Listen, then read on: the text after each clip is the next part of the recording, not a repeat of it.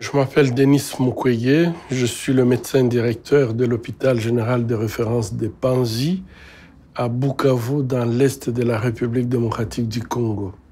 Je suis gynécologue obstétricien et depuis quelques années, je m'occupe spécialement du traitement des victimes de violences sexuelles à l'est du Congo.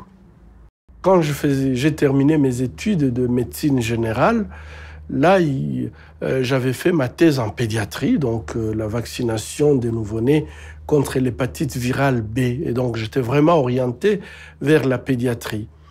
Et quand je vais exercer pour la première fois, là, il va se passer quelque chose euh, dans ma vie qui va encore changer. Donc, je vais me rendre compte que euh, en une journée deux femmes euh, qui euh, sont mortes dans la maternité où j'étais, mortes tout simplement puisque il n'y avait pas une prise en charge correcte. Elles sont venues un peu tard à la maternité et donc elles avaient saigné sans assistance.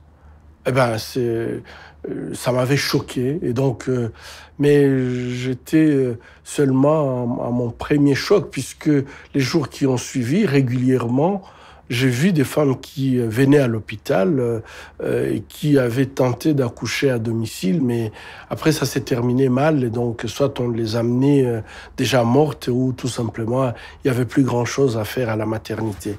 Et là effectivement le réflexe, je m'étais dit mais ces, ces, pauvres femmes qui meurent en essayant de donner la vie, c'est c'est pas normal. On peut faire quelque chose. Là où je viens, euh, ma faculté de médecine, je n'avais jamais vu des choses comme ça. Et effectivement, là, je vais décider de faire la gynécologie et l'obstétrique.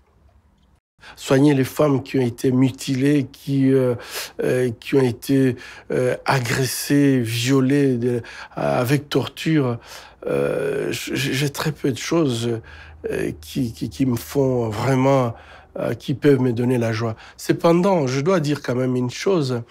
Euh, si je continue à faire le travail que je fais, c'est puisque euh, lorsque j'ai eu à, à, soigner des femmes adultes qui sont incontinentes, puisque tout simplement leur vessie a été perforée, qui sont incontinentes puisque leur rectum a été perforé, et que vous arrivez à refermer donc euh, soigner cette blessure et que ces femmes deviennent de nouveau continentes, je crois qu'il y, y, a deux fois où j'étais ému de voir une, une femme adulte qui euh, euh, naissait de nouveau.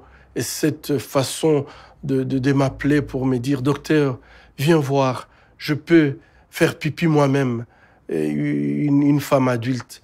ce sont des choses qui non seulement vous mettent en émotion, mais là aussi, vous avez la joie de donner la joie à quelqu'un euh, qui se sentait complètement perdu. J'ai déjà soigné plus de 40 000 femmes victimes de, violences sexuelles avec euh, brutalité extrême. J'ai été dans euh, dans toutes les places où les décisions se prennent dans ce monde euh, pour dénoncer cette situation. Et malheureusement, euh, j'attends toujours une réaction, pas seulement par rapport à mon pays, mais partout où dans le conflit, les femmes subissent ce type de traitement. Et je, je, je pense que les femmes qui subissent ce type de traitement doivent prendre la parole. La meilleure façon de continuer à les torturer, c'est le silence elles doivent parler, elles doivent s'exprimer, elles doivent réclamer leurs droits. Et je pense que lorsque vous voyez la façon, en fait, euh, dont ces femmes sont, euh, sont torturées, on les torture dans une zone qu'elles ne peuvent pas montrer. On les torture au niveau de leur partie intime, puisque finalement, là, elles sont humiliées, on les fait peut-être devant leurs enfants, devant leurs maris, devant leur communauté, mais ces femmes, après avoir été humiliées de cette façon, elles n'auront jamais le courage de montrer ce qu'elles ont subi, des brûlures, des blessures, des mutilations. Elles ne peuvent pas les montrer en public. Et donc, euh, c'est une façon, en fait, de blesser quelqu'un, humilier quelqu'un et demander à cette personne de garder silence, puisque si elle montre ce qu'elle a subi, c'est une humiliation supplémentaire. Le viol comme arme de guerre, on devrait mettre une ligne rouge à ne pas franchir.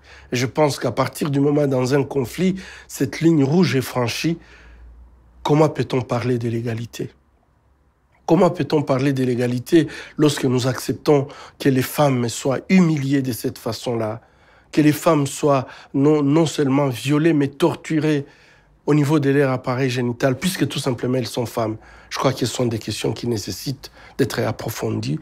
Et là, on a besoin de tracer cette ligne rouge pour protéger. Et vraiment, c'est seulement à ce moment-là que peut-être on peut commencer à parler d'illégalité. Mais je, trouve que dans beaucoup de circonstances, tout ce qui est viol, violence, souvent la femme doit s'expliquer. Elle doit se justifier. Et, et moi, je, me pose la question, pourquoi elle doit se justifier lorsque c'est elle qui est victime et c'est elle qui doit justifier